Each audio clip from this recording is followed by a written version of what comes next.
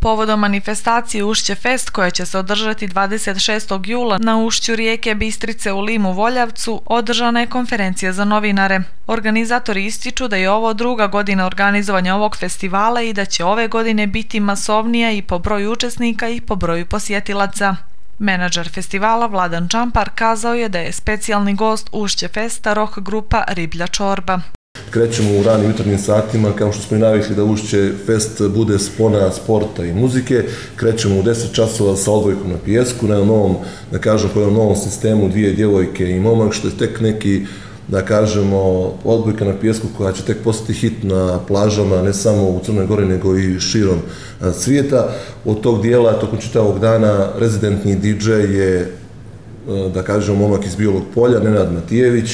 a zvanično muzički program festivala počinje od 16 časova kada će nastupiti DJ Mirko Vukčević, e, poznati kao DJ Dreamer i DJ Aleksandar Ćosović kao ČSK. To su već DJ-evi koji su, da, da kažemo, jako dobro rangirani na listi DJ-eva na prostoru jugoistočne Evrope. U tom dijelu posle nas čeka jedna, da kažemo, um, instrumentalna atrakcija, oni su King of Stage, njih predvodi čovjek koji dolazi iz Senegala, Mamadou i zaista jedna sjajna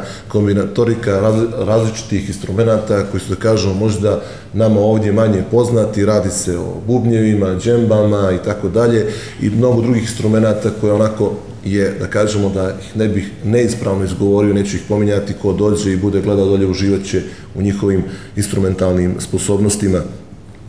U daljem dijelu idujemo sa dva vrlo, da kažemo, mlada, mogli bi rekli neafirmisana benda, međutim, učesnici finala i same završnice Royal Festa na Cetinju, Vertigo i Naiva su već bendovi koji su se dokazali, koji već uveliko pripremaju svoje albume, tako da ćemo uživati u njihovoj izvodbi koja će trajati u nekih od sat do sat i po, po jednom bendu. Što se tiče predgrupe samog eh, glavnog koncerta festivala, čeka nas Vanja Radovanović, čovjek koji je već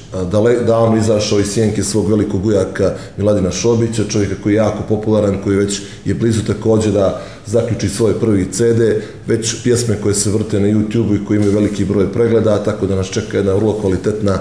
kvalitetna priča i sa njegovim bendom i onda što reći za kraj festivala, za finiš, čeka nas najveća rock grupa prostora bivše Jugoslavije, čeka nas Riblja Čorba, za njim sve što se kaže zaista je onako već rečeno, toliko albuma, toliko godina trajanja i tako da nas čeka sasvim jedan veliki spektakl koji će biti prosto siguran sam još na većem nivou nego prošle godine i da nas čeka sigurno blizu 15.000 ljudi. Biće obezbijeđen parking prostor za nekih 200 vozila,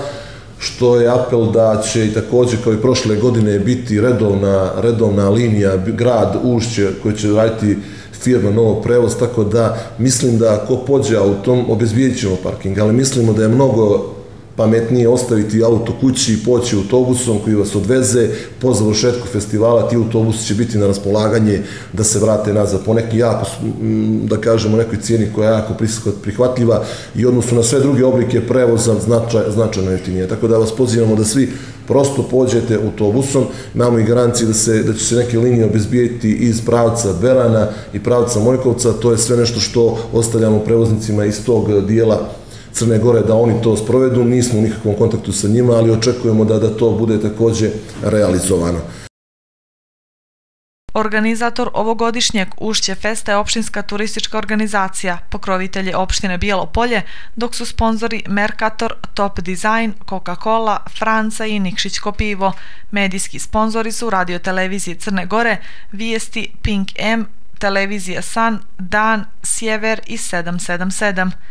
Direktorica turističke organizacije Violeta Obradović kazala je da je na fonu uspješno organizovanog Ušće festa prošle godine odlučeno da turistička organizacija i ove godine bude pokrovitelj festivala. Bijelo polje može da stane rame, u rame, rame uz rame sa većim gradovima koji također realizuju ovako malo, da kažem, krupnije manifestacije koje zahtijevaju veću organizaciju, ozbiljnije pripreme. Tako da smatramo da smo potpuno ravnopravni sa svima onima koji, koji realizuju u nizu već tradicionalno određene e, festivale, da ih sad ne pominjemo, tako da evo nadam se da ćemo uspješno i ove godine to realizovati, zahvaljujući svima vama koji ste naši partneri,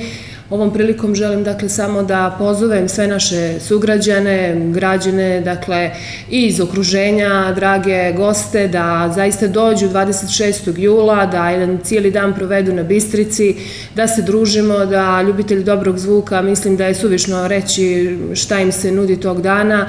tako da smatramo da evo ta ljetnja turistička sezona u Bijelom polju je veoma uspješna, tu su bile niz manifestacije koje smo mi već do sad odradili, o nekim budućim koje, koje nastupaju, evo mogu samo ubrzno reći da će biti festival tamburaša internacionalni, zatim festival folklora i sljedeće manifestacije koje će biti ispromovisane na vrijeme. Dakle, ovim putem još jednom pozivam sve naše građane da dođu sa svojim porodicama ili kako već oni žele, da se zaista družimo. Mislimo da će to biti jedan spektakl i ne sumnjam da će to biti sve realizovano kako treba.